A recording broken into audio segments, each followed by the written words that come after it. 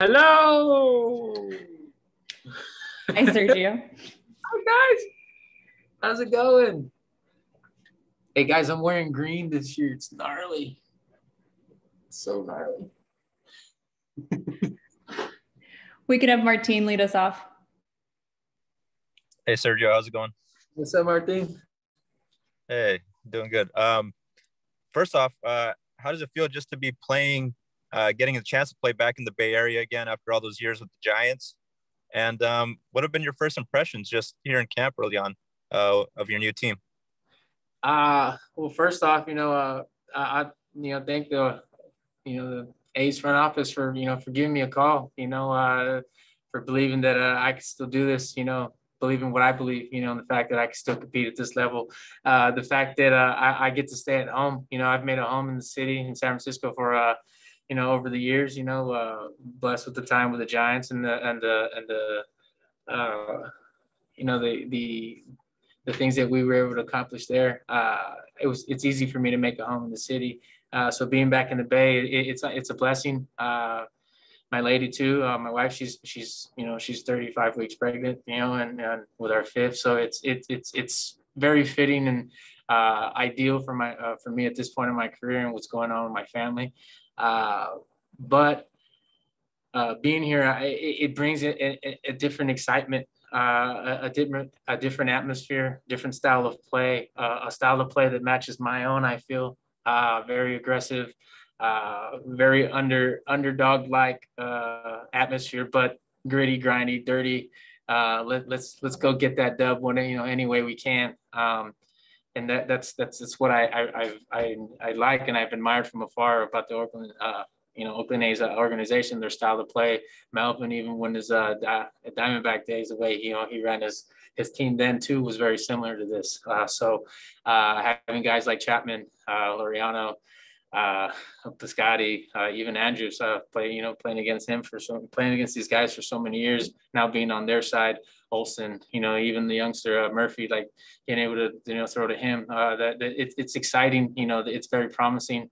Uh, being able to be around the younger guys too, uh, Trevino, uh, Wilkington, uh, uh, JB, uh, can't still messing up his last name. I'm bad. Uh, JB, being guy around guys like uh, Daulton, uh, I've had conversations with him already, uh, Blackburn already, like guys like that. Like I've already had conversation with these guys, and uh, it, I, I, feel that I fit in.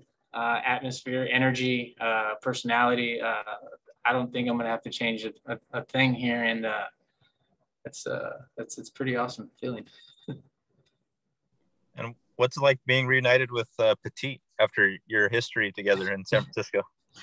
Uh, what was great was seeing him uh, day before yesterday for the first time. Uh, I mean, I, we'd cross paths, you know, uh, playing against each other throughout the seasons. Uh, but uh, seeing him picking up exactly where we left off.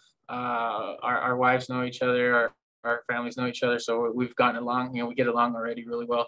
But the the the initial hug, seeing him, uh, it's, it's, it's, it's rather fulfilling, you know, uh, just for the fact that there's, there's people out there that care about you, you know, those, those relationships for me are, are, are extreme blessings that, uh, that we get in this game that, uh, you know, being able to be around for so long in the relationships that we build it, those are, for me, those are things that I'll, you know, everlasting. So, uh, being able to be with Petit, uh, yeah, it's, it's, it's, it's a spark. It really is. Manolo. Hola, Sergio, ¿cómo estás? Hola Manolo, estamos juntos otra vez, ¿cómo estamos? Sí, hermano. El, eh, eh, eh, serio, it seems like it was yesterday when uh, you came up to the uh, with the Giants in 2008. You came into that game in Dodger Stadium. You faced Manny Ramirez and you struck him out, and you know you started your career from there. 29 games that year with the Giants. What are some of the things, my friend, that has kept you motivated of, over all of those years to continue in this business? Um, I think the uh, the how do I say this? I think the being a father uh, and being a, a, a, somewhat of a image for my kids, a positive image for my kids, uh, that their you know their dad is able to do something special, do something unique, do something that not very many people in the whole world can do, you know, and uh, and, and been blessed to be able to do it for so long. Uh, but to be able to do it in my own way. So what's motivating for me is the fact that uh, I still get to compete against you know, those the best of the best, you know, considered the best of the best, and I could still be here. I could still, uh, uh, you know, go toe to toe with these guys and and and not be overwhelmed, you know, and and not be and not feel overwhelmed and not feel that I'm out of place. Uh, in other words, this gives me a place. This this makes me feel complete. This makes me feel uh, whole, you know, in, in regards to having a spot, you know, having a place, being real, being visible. Uh, just want to compete and win, and that's that's that's that's really it's really why I keep playing, winning and my days, being myself. yeah, yeah. You just uh, talk about uh, Yusmeiro, uh, a, a, great friend of yours. Uh, another great friend of yours had a tremendous slider as well. He was a lefty, uh, Javier Lopez. I wonder, you know, uh, you guys used to talk a lot about those sliders. He threw in one from the left side, you're from the right side. And can you talk a little bit about some of the things you might have learned from him to perfect your own slider? Oh, um, yeah. Uh, I mean, that's one of the uh, that's one of the greatest things that happened to me in my career. I feel was in 2010 when the Giants traded for Javier Lopez. Uh, he's the first guy to really put his arm around me and big brother me, you know, and you know, and call me the knucklehead when I needed, when I was being a knucklehead and straighten me out when I needed to be straightened out. Uh, told me the truth straight up, you know. Uh, but when it comes to pitching and stuff, you know, yeah, watching him pitch and the way he would set up his stuff, you know, him and I were similar in regards to our repertoires with, you know, sinker slider, you know, predominantly. And, uh, just the way he would set up his guys, you know, set up the hitters and stuff, uh, going into, you know, pitching in to go away or pitching in a way to go in, uh, pitching up to go down, that type of stuff. Uh, when and where to throw the breaking ball, uh, situations in which to manipulate the breaking ball, you know, which one to pick. You know, he helped me differentiate uh, between my breaking balls, the short, hard one, the big loopy one, the one that goes down. Um, then put the idea in my head. Him and Mark Gardner kind of put the idea in my head that I can do it on both sides of the play. And then I, that's kind of what I've been doing for the last few years. So uh, very, very, very, very uh, impactful uh, person in my career. And uh, being with, you know, Yusmeiro too, we kind of had that conversation today too. We are talking uh, about a younger guy earlier today, and it, it was that aspect watching him throw his bull, uh, younger guy throw a bullpen and uh, telling, okay, cool, hey, right there, he got around it a little bit too much, or he got it behind it too much, or maybe got under it. You know, certain things like that. You know, talking mechanics and and and and just watching how these guys move and stuff. You know, maybe being able to help them maybe manipulate the ball later on and figure out a little bit more how to be consistent. So uh, it's it's really cool the veterans I've been around, you know, the knowledge that it's it's it's uh, kind of been presented to me. It's pretty cool. Yeah, uh, one other thing, you know, the, well, this year uh, the uh, the Olympics, of course, the Olympics uh, in the very middle of the uh, 2021 uh, season. Some veterans, well, Adrian Gonzalez is going to play, but he's not in the majors right now. But there are a lot of young, young, young players that are, are in uh, organizations that are willing to play in the Olympics. Is this one of the, dream of yours that someday pitch for Mexico in the Olympics? And uh, some people there in the federation have approached you, even knowing that you have a contract to pitch this in the majors. Um, yeah. Uh, before I had agreed, you know, for this season, uh, to play here with Oakland. I uh, I had been in contact with the uh, the Baseball Federation of Mexico and to to be put on the preliminary rosters just in case you know I would be available or able to play. Um, but that yeah, that was a dream. That is that is one of the boxes that I have yet to check in baseball uh, that were part of my childhood dreams. Uh, there's two things. Um, one would be to play for Mexico in the Olympics. and the other one was to be a champion of Serie Caribe uh, which is you know winter ball uh, Caribbean series. Uh, I'd like to be a champion there for Mexico. That that'd be that was that was something I've been wanting since I was a little kid. Uh, I think that'd be a great experience, you know, for anybody just to play in the Olympics in general. Uh, if Adrian gets to do that, that's awesome for him. Uh, there's a lot of young guys uh, uh in Mexico that are, are, are really coming up through the system, the minor system. A few guys on the 40 man rosters that won't get that opportunity, but uh, I do feel that it's something that should, you know, it, you know, take that opportunity if you got it. That's I'd do it if I could. yeah, thank you very much, my friend. Have a great season. Gracias. Shayna. Hey, Sergio, how are you? Uh, I just wanted to, to follow up on the, the slider question. Um, wanted to know what has been the key for you to keeping it up and having it miss bats the way that it has been over the last few years, and what you've you've learned uh, on your other stops after the Giants. I uh, the my grandpa is the one first and foremost. My grandpa and my dad were the ones that taught me my breaking ball. Uh, they taught me my grip and uh, I, you know wrist actions and whatnot, and how to you know how to throw it from the get go. Right. Uh, Mark Gardner was the one. Him and Javi were you know ones that put it in my head to help me, you know to manipulate it. That I was manipulating the ball without really knowing it. My first year, year and a half in the big leagues, I, I you know, told me, hey, throw that short, hard one right here. And I'm like, oh, you know, okay, yeah. And then okay, well, how do I And I'm starting thinking to myself, you know, uh, but it's trial and error. You know, uh, I, I, practice a lot of what I do on the mound. It starts off on the line when I'm playing catch. You know, predominantly when I uh, when I start playing catch, I'm, I'm, I'm playing catch to get loose. But when I'm coming in, I do throw a flat ground, and I'm working on mechanics. I'm working on feel, different grips, just you know, different finger pressures and placement on the ball. It's just trying to see the different wrist actions. Just trying to see the you know the uh, effect that it has on the on the ball that I throw, just to see what it does, and that's how I've learned throughout the years and how to manipulate it and how to differentiate between you know my uh, the breaking balls that although I do throw it's considered just a slider, I do throw multiple variations of it, you know. So you could sit slider, but at this point in my career, it's which one, you know. Um, and I think being able to throw it on both sides of the plate, being able to utilize my fastball, uh, my sinker as well as I have the last couple seasons, uh, I think has helped me uh, with the breaking ball too to keep them off of it as much. Uh, so um, I would venture to say it, it's it's just still twerking it, tweaking it, you know, uh, trying to refine it, uh, focusing on refining that.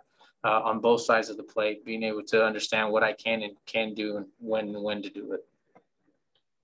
Steve? Sergio, how are you doing? Good to see you.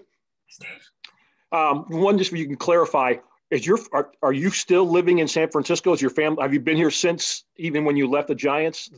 You've you've all still been in the city. Yes, sir. Uh, I've lived in the season. I've spent every off season uh, for uh, in San Francisco since 2012. After we uh, we you know blessed with the second one.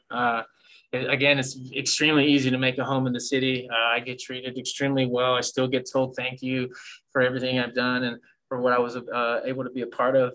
Uh, it, it's, it's, it's historical, and not just for the game of baseball, but for you know for the city of San Francisco. So uh, it, it's it's a blessing that uh, uh, they still remember those days, and they and and it still carries the weight that it does to get treated the way that we do, my family and I.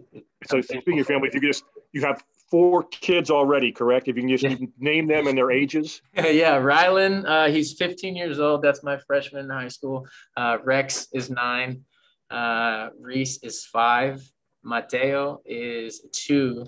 And we have boy number five on his way coming. Uh, we're going to name him Lucas uh, in about a month or so when he gets here, God willing. And uh, how does your wife spell her first name? Melinda, M E L I N D A very good. I'm just going to, and then you, you referenced this a little bit earlier, but maybe I'll ask it in a different way. When you were with the Giants, I mean, everybody talks about the Giants Dodgers rivalry, and that's people kind of know that. The Giants A's rivalry is, is somewhat nebulous, that people don't necessarily. yeah. When you were with the Giants, how did you perceive the A's? Oh, man. Oh, here we go here we go. You know, uh, that that it's it's honest. It's it's it's very for me. It was very similar to the Dodgers rivalry. Uh, it's rather ironic. I I, I mean I. I'm being blessed to be able to see both sides of each rivalry at this point. You know, I grew up rooting for the Dodgers and the sheer irony of life. I get drafted by Giants and the successes that we had there. And, and then, uh, but now being, uh, being part of the, the Bay Bridge series, that was something that even even the uh, the exhibition, you know, the exhibition games before the season, like when I was still trying to uh, establish myself and, and get an opportunity because I was like, hey, dude, if I get the A's right here, they're gonna remember this. Just like if I got the Dodgers in spring training, like you know, like and that's the way I took it. You know, uh, no knock on it was no disrespect. You know, again, like I've I've admired the style of play. And, and, and you get excited and motivated, you know it's going to be a dogfight. Why? Because of the style of play, because of the characters and the pieces that they've they seem to be always have here. You know, and uh, now that I'm a part of that, yeah, like, do I want to go back and kind of, you know, take it to some of my old teammates, you know, that are still there, some of my old friends? Like, yeah, why not? You know what I'm saying? And uh, again, I'm here to compete. I'm here to win. You know, I'm wearing green and gold this year, and and I'm gonna wear it proudly. Uh, I, I have family members too. They're Oakland A's fans. You know, so from to begin, they already had their Romo 54 jerseys, you know, or their Romo jerseys, and now they they, they got real reason to wear it. You know, uh, uh, not a real reason to wear it, but because they already have one, but like you know, like they have a more a personal reason to wear it. And uh, it, for me, it, that's that's what I'm I'm excited to be in the Bay, and that's part of it. You know, uh, I I noticed too that uh, interleague plays against the NL West. Like, come on, like there's still guys that I faced when I was here too. Like, and when I'd seen them wearing other jerseys, I thought felt the same way. I'm going, all right, let's go. Like, we've been through this. Like, I know it's gonna be a grind. I know it's gonna be a battle. Like, all right, cool. I'm gonna win this fight today. Let's go. Like, you know what I mean? So like, it's it's motivating being back and being part of something as special and uh, to the Bay as, as as this rivalry. Great. Thanks. Good luck. Yeah, thank you. Chris? You're muted, Chris. I can't hear you. You're muted. No. Talk to me, Chris. No.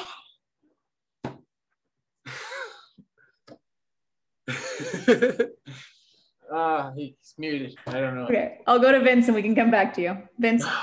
Come on, Chris. Sorry, Chris. Sorry to hear about that. Take your spot. Oh, Sergio, welcome to Oakland. Father of two daughters, so uh, five boys. That's something. Um, when Elvis Andrus was acquired in the deal, he he had talked a little bit. You just touched on, you know, playing against the A's and and his hope that you know the the great fans and and both bleachers would hang a banner, you know, in his honor. What will that be like? What's what's your what's your reaction to that? And then a, a true baseball question: How do you feel about the way this bullpen has come together? Certainly late with some of the signings, but the kind of bullpen you feel like the A's have right now. Uh, well, I, will be honest. I'm kind of with Elvis. You know, I, I'm hoping they put up a banner of some sort too. You know, when I come out and play, you know that that's something too that like coming in and visit as a visitor playing at the Coliseum uh, the the the section in right field where they're playing song street and the drums and the and the uh, and the horns and the noises and all that good stuff like the chants and stuff like yeah like I, am I've already talked to my wife going man I wonder how like what they're what kind of chat they're gonna come up for me when I'm on the bump you know what I mean? Like I'm excited for that. So yeah I, I share the same uh same uh interest and excitement over that uh, with Elvis. Uh and then also I mean again I want to win uh, being here, that that's that's that's kind of the whole point uh, in, in, wanting to be in an organization like this. They expect to win. Uh, the pieces here, although on paper they may not be the best team, whatever, or, or expected to projections, whatnot, or, but this team has self-respect. These players, they respect themselves enough, and I've been watching it, you know, a handful of days now, to where uh, the intent uh, is, to win. The intent is to go out and, and, and, and, you know, I mean, I guess in a sense, hockey terms, knock some teeth out, you know, uh, it, it's, and I want to be a part of that. I, I really, really do. Uh, being in the Bay again, it's fitting. It, everything about it, it's fitting. I just, I don't know what to say other than that, man. I, I want to win. I want to win and I want to do it right. I want to have fun uh, yeah, this is the place for me right now. Let's do it.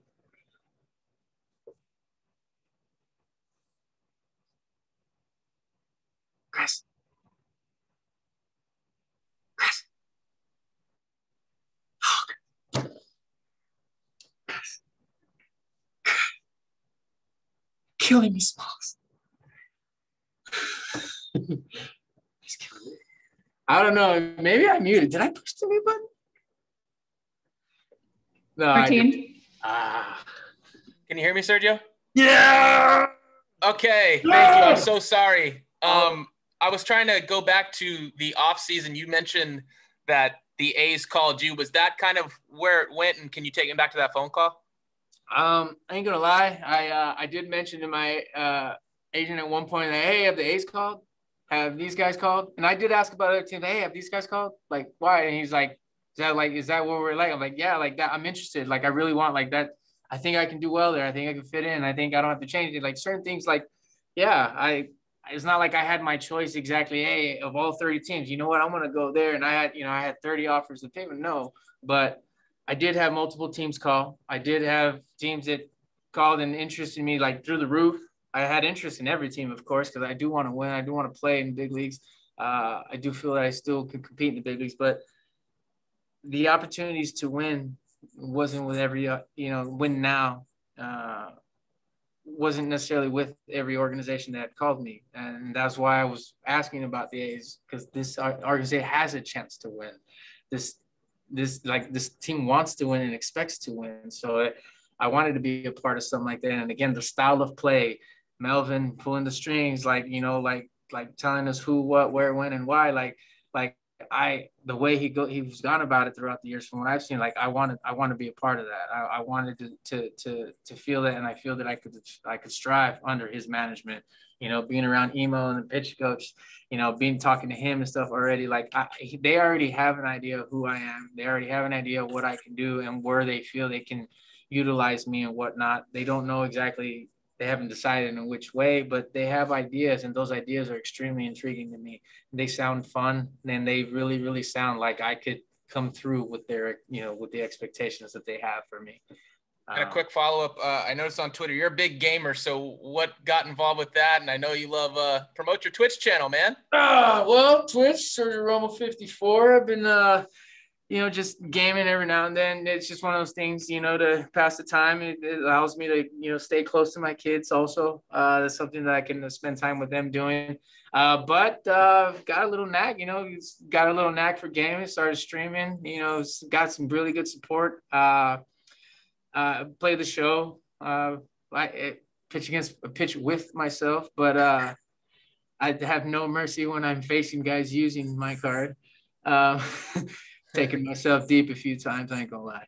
Um, uh, but uh, I play the show. I play Warzone. Uh, I, I just like to play video games. I'm a kid inside. Uh, I got a lot of energy. Uh, kind of off the wall. Um, definitely not the fly on the wall, but uh, I'll be bouncing off that wall here and there. It's just a lot of energy, got a lot of personality, and I, I just want to share it. I got a lot of happiness. Um, and if I can play video games and people find that interesting, then hey, let's let's spend some time together then. Thanks, Sergio. All right, and Martine, final question. Yeah, Sergio, this is an important one from A's fans. Um, will you continue to use El Mechon as your oh, walkout? Okay. okay. So there's not too many in my my Mexican following, you know, my gente, my raza, they, I don't get called Romo anymore. It's, it's, they don't call me Sergio. They don't call me Romo. They don't, no, I get called El Mechon. And in Mexico, it's Mechon. And uh, that's me. That's my song. That's the one that's going to come out. Uh, I'm, dude, they, they, hey, music bangs in the Coliseum too. You know what I'm saying? So like, I, I'm excited. I, that that's one thing too that I've thought about too. Uh, I'm excited for Mechon to, to, to you know, sound loud in that stadium. Uh, it's going to be fun. It really is. All right. Thank you, Sergio. Thanks, guys. Thank you. Gracias, Sergio. Adelante. Thank you, man. You guys take care. Please be safe.